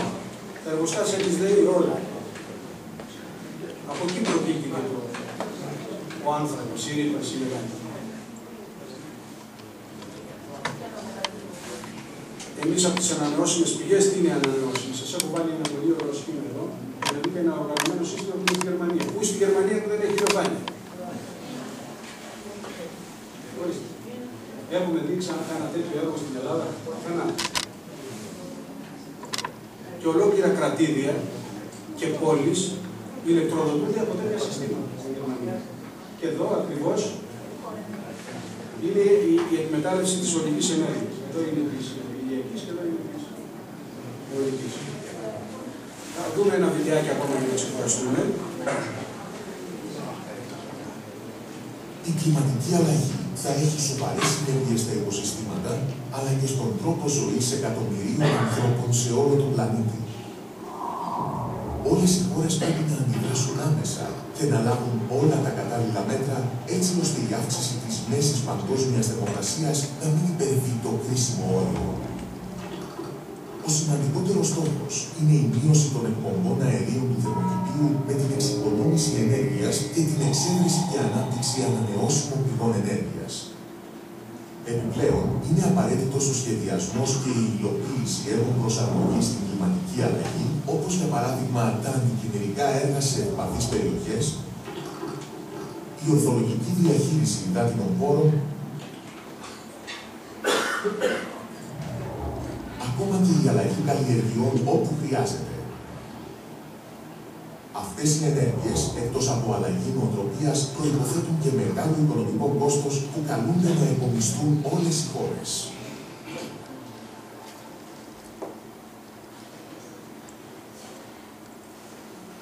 Άλλο ένα, το πιο πρόσφατο, το τελευταίο, που έγινε μια συνάντηση στη Βαρσοβία, πάλι για την κλιματική αλλαγή, το 2012, να ακούσετε τι λένε ακριβώς εκεί και πώς θέλουν να πείσουν και τον κόσμο, αλλά και αυτούς που συμμετέχουν τα μέλη, ότι πρέπει πράγματι να προχωρήσουν σε αυτά που έχουν υιοθετήσει από το, από το 2008 μέσω της Ευρωπαϊκής Ένωσης. Έχοντας ρεαλιστικές προσδοκίες και κρατώντας μικρό καλάθι, οι αντιπρόσωποι 196 χωρών συναντώνται στη Βαρσοβία με αντικείμενο την κλιματική αλλαγή. Στόχος τους είναι να προετοιμάσουν το έδαφος για μια συμφωνία αντιμετώπισης του φαινομένου έως το 2015, που θα είναι όμως οικουμενική και νομικά δεσμευτική. Ελπίζω να φέρουμε όλες τις πλευρές του τραπέζι του διαλόγου, να συζητήσουμε με ειλικρίνεια και να φτάσουμε σε μια δεσμευτική συμφωνία ω το 2015. Σε σύγκριση με την προβιομηχανική εποχή, η μέση παγκόσμια θερμοκρασία έχει αυξηθεί κατά 0,8 βαθμούς Κελσίου. Αν δεν ληφθούν μέτρα, ως το 2100 η αύξηση θα είναι 5 βαθμοί Κελσίου. Ο στόχος είναι να περιοριστεί σε 2. Αυτό προϋποθέτει τη μείωση της εκπομπής αερίων από 50 σε 44 γιγατόνους ως το 2020 και τους μισούς από αυτούς ως το 2050. Οι αντιπροσωπείες που συναντώνται στην Πολωνία όμως είναι φορείς πολλών διαφορετικών πολιτικών. Η γεφύρωσή τους είναι μεγάλη πρόκληση. Στο μεταξύ, οι εκπομπές αερίων αυξάνονται αντί να μειώνονται. Ο άνθρακας μπορεί να γίνει η βασική πηγή ενέργειας για την παγκόσμια οικονομία και μεγάλες χώρες όπως η Κίνα, παρόλο που η χρήση του είναι καταστροφική για το περιβάλλον. Το Πεκίνο ταξίδεψε στη Βαρσοβία με πλήρη επίγνωση του σοβαρού περιβαλλοντικού ζητήματός του και της εξάρτησής του από τον άνθρακα. Επισημαίνει ωστόσο πως το μεγαλύτερο βάρος της ευθύνης αφορά τις χώρες που βιομηχανοποιήθηκαν πολλές δεκαετίες νωρίτερα. Το 61 Πάντως η Κίνα 60%. βρίσκεται στην κορυφή της λίστα των χωρών που προκαλούν τη μεγαλύτερη ρήπανση με μερίδιο 23% στις εκπομπές αερίων θερμοκηπίου. Ακολουθούν οι Ηνωμένες Πολιτείες, η Ευρωπαϊκή Ένωση και η Ρωσία. Όσο για τις Ηνωμένες Πολιτείες, είναι γνωστό πως δεν επικύρωσαν ποτέ το πρωτόκολλο του Κιώτο. Οι δε στόχοι που έχουν θέσει για τη μείωση των εκπομπών αερίου είναι πολύ χαμηλοί. Πέντε φορές χαμηλότεροι από αυτούς της Ευρώπης. Ταυτόχρονα θέτουν αναχώματα στην οικονομική ενίσχυση των χωρών του Νότου που πλήττονται σφόδρα από την κλιματική αλλαγή. Στην Κοπενχάγη, οι χώρες του Βορρά είχαν συμφωνήσει να τους χορηγούν αποζημίωση 100 δι δολαρίων το χρόνο. Μια πρωτοβουλία που έμεινε κενό γράμμα. Το δεις. Πέφτει και το χρήμα στη μέση του σας. Έχει αρχίσει και πέφτει και το χρήμα. Για να κλείσουμε λοιπόν τη σημερινή μας συνάντηση και τα λοιπά, και επειδή εδώ είμαστε ε, το λαϊκό, εγώ θα έλεγα, πανεπιστήμιο του Δήμου, έτσι, θα, κάνω, θα κλείσω με έναν επίλογο που έχω γράψει για την τοπική αυτοδιοίκηση. Τι μπορεί να κάνει. Γιατί είμαστε όλοι ανήκουμε σε αυτή την κοινωνία και σε αυτό το Δήμο του Περιστερίου. Έχει την τύχη και την ευθύνη η αυτοδιοίκηση να είναι πιο κοντά από όλες τις μορφές διοίκησης στον πολίτη. Σε αυτό το πλαίσιο καλείται να δώσει και αυτή τη δική της μάχη, τη μάχη για τη σωτηρία μας. Πρέπει να βρει τον τρόπο να αλλάξει την περιβαλλοντική συνείδηση των ελληνικών κοινωνιών. Αυτό προσπαθώ να κάνω εγώ σήμερα. Να ενεργοποιήσει τους πολίτες σε δράση και τρόπο ζωής φιλικά προς το περιβάλλον. Να οργανώσει τη λειτουργία της και τις υπηρεσίες που προκύπτουν από αυτή με τέτοιο τρόπο που να μην επιβαρύνεται το περιβάλλον. Να βρει δηλαδή τρόπους που να μεταφέρει στην πράξη τον ορισμό της αηφόρου ανάπτυξης και τον τριπλό στόχο που έχει αυτή.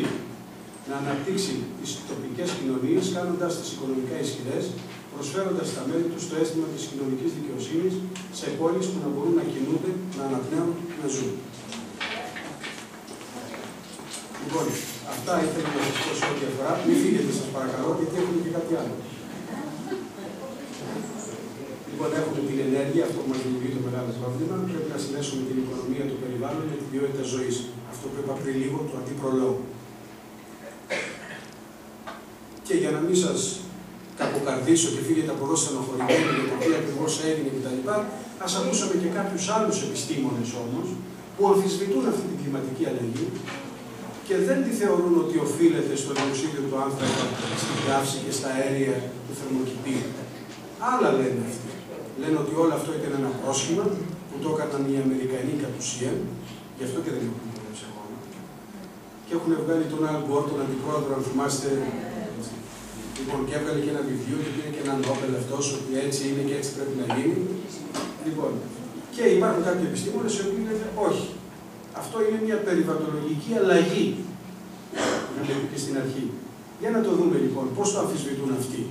Είναι, δεν είναι μεγάλο, είναι 7 λεπτά μόνο και, και κλείνουμε. Μην σας κουράζω. I say, no, I believe in global warming. I don't believe that, that human CO2 is causing that warming. A few years ago, if you would ask me, I would tell you it's CO2. Why? Because just like everyone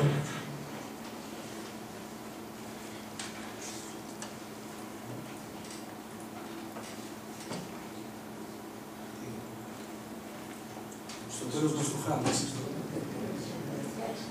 Αλλά είναι μια άλλη άποψη που πρέπει να τη δούμε και αυτή. Εγώ δεν είμαι βέβαια υπέρ αυτής της άποψης που ακούσατε. Είμαι υπέρ της πρώτης άποψης. ότι Πράγματι κινδυνεύει. Πράγματι κάτι πρέπει να κάνουμε.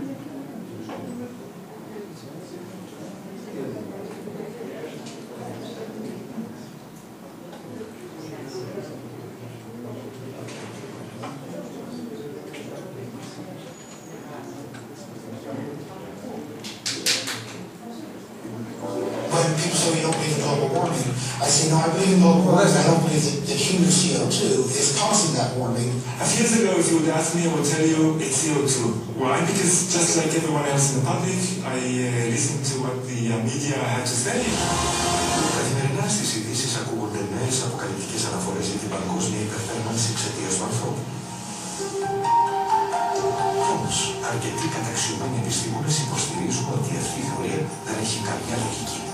Or periods, for example, in Earth's history, when we have three times as much CO2 as we have today, or periods when we have ten times as much CO2 as we have today. And if CO2 has a large effect on climate, then you should see it in the temperature reconstruction. If we look at climate through the geological time frame, we would never suspect CO2 as a major climate driver. None of the major climate changes of the last thousand years can be explained by CO2. We can't say that CO2 will drive climate. It certainly never did in the past. I've often heard it said that there is a consensus of thousands of scientists on the global warming issue and that humans are causing a catastrophic change to the climate system. Well, I am one scientist and there are many that simply think that is not true. Η υπερθέρμανση του πλανήτη εξαιτία του ανθρώπου δεν αποτελεί επιστημονική θεωρία. Υποστηρίζεται από ένα ισχυρό πολιτικό σώμα. But any human body is political. The final conclusions are politically driven. This claim that the IPCC is the world's top 1,500 or 2,500 uh, scientists. You look at the bibliographies of the people and it's simply not true. There are quite a number of non-scientists. Αυτή η ιστορία αφηγείται το πώς μια θεωρία για το κλίμα εξελίχθηκε σε πολιτική ιδεολογία. See, I don't even like to call it the environmental movement anymore because really it is a political activist movement and they have become hugely influential at a global level. Είναι η ιστορία της διαστρέβλωσης ενός ολόκληρου κλάδου της επιστήμης. Climate scientists need there to be a problem in order to get funding. We have a vested interest in creating panic because then money will flow to climate science. Το κλίμα άλλαζε πάντα χωρίς καμιά παρέμβαση από τον άνθρωπο. Η σημερινή τάση ξεκίνησε πριν από 200 χρόνια περίπου μετά τη λήξη μιας περίοδου ψύχου στην ιστορία της γης. Μιας περίοδου γνωστής ως μικρή εποχή των παγετώνων. In the 14th century, Europe plunged into the Little Ice Age. And during the hardest and toughest winters of that Little Ice Age, the Thames would freeze over. Πριν τη μικρή εποχή των παγετώνων, ανακαλύπτουμε μια εποχή με θερμοκρασίες πολύ πιο υψηλές από τις σημερινές. Αυτή η εποχή είναι γνωστή ως μεσαιωνική θερμή περίοδος. It's important that people know that climate enabled a quite different lifestyle in the medieval period. We have this view today that warming is going to have apocalyptic outcomes. In fact, wherever you describe this warm period, it appears to be associated with witches. Αν πάμε πίσω στον χρόνο, ακόμα πιο πριν από τη θερμή περίοδο του Μεσαίωνα, θα ανακαλύψουμε και άλλα διαστήματα υψηλών θερμοκρασιών. Μία από τις μεγαλύτερες σε διάρκεια ήταν στην εποχή του Χαλκού και στην Παλαιολιθική εποχή. Είναι γνωστή στους γεωλόγους ως ολόγενος. Τότε οι θερμοκρασίες ήταν υψηλότερες από ό,τι σήμερα για περισσότερες από 3 χιλιετηρίδες. Οι κλιματολογικές διαφοροποιήσεις στο παρελθόν ήταν κάτι το απολύτως φυσιολογικό. Τότε γιατί πιστεύουμε ότι κάτι διαφορετικό συμβαίνει στις μέρες μας; Ποια είναι όμως τα στοιχεία που στηρίζουν αυτή την άποψη; Anyone who goes around and says that carbon dioxide is responsible for most of the warming of the 20th century hasn't looked at the basic numbers. Τα προηγούμενα 150 χρόνια η παγκόσμια θερμοκρασία αυξήθηκε λίγο πάνω από μισό βαθμό Κελσίου. Αλλά το παράξενο είναι ότι αυτή η αύξηση αποδίδεται κυρίως στις πρώτες δεκαετίες του 20ου αιώνα, μεταξύ 1905 και 1940, όταν η βιομηχανική παραγωγή ήταν σχετικά μικρή. Μετά το 40, ο κόσμος άρχισε να δροσίζει. Κατά τη διάρκεια της μεταπολεμικής οικονομικής άνθησης, η θερμοκρασία πέφτει σημαντικά. CO2 began to decrease exponentially uh, in about 1940, but the temperature actually began to decrease 1940, uh, continued till about 1975. So this is the opposite relation. When the, the CO2 is increasing rapidly, but yet the temperature decreasing, then we cannot say that CO2 and the temperature go together. The temperature went up significantly up to 1940 when human production of CO2 was, was relatively low. And then in the post-war years, when industry and the whole economies of the world really got going, and human production of CO2 just soared, the global temperature was going down. In other words, the facts didn't fit the theory. Το φαινόμενο του θερμοκηπίου αποτελεί ένα μόνο τμήμα του γήινου κλιματικού συστήματος, ενώ το διοξίδιο του άνθρακα δεν αποτελεί σημαντική αιτία δημιουργίας του. The atmosphere is made up of, of a multitude of gases, and of that very small percentage of greenhouse gases, uh, 95% of it is water vapor. It's the most important greenhouse gas. Water vapor is a greenhouse gas, by far the most important greenhouse gas. Ουσίες, δορυφόρους και μετεωρολογικά αερόστατα. We found consistently is that in a great part of the planet, that the bulk of the atmosphere is not warming as much as we see at the surface in this region, and really does not match the theory that climate models are expressing at this point. So in a sense, you can say that the hypothesis of man-made global warming is falsified by the evidence. Διοξίδιο του άνθρακα ευθυνόταν για την κλιματική αλλαγή, τότε η θερμοκρασία θα ανέβαινε κατά τη διάρκεια της μεταπολεμικής οικονομικής ανόδου, ενώ θα ήταν υψηλότερη στην τροπόσφαιρα από ό,τι στην επιφάνεια. Ωστόσο συνέβη το αντίθετο. So here we're looking at the ice core record from Vostok. And in the red, we see temperature going up from early time to later time at a very key interval when we came out of a glaciation. And we see the temperature going up, and then we see the CO2 coming up. CO2 lags behind that increase. It's got an 800-year lag. So temperature is leading CO2 by 800 years. Έχουν γίνει πολλές μελέτες στον πάγκο. Κάθε μια δείχνει το ίδιο πράγμα. Η θερμοκρασία ανεβαίνει, πέφτει και έπειτα από μερικές εκατοντάδες χρόνια ακολουθεί το διοξίδιο του άνθρακα. So obviously, carbon dioxide is not the cause of that warming. In fact, we can say that the warming produced the increase in carbon dioxide. CO2 clearly cannot be causing temperature changes. It's a product of temperature. It's following temperature changes. They said, if the CO2 increases in the atmosphere as a greenhouse gas, then the temperature will go up. But the ice core record assumption, the most fundamental assumption of the whole theory of, of climate change due to humans,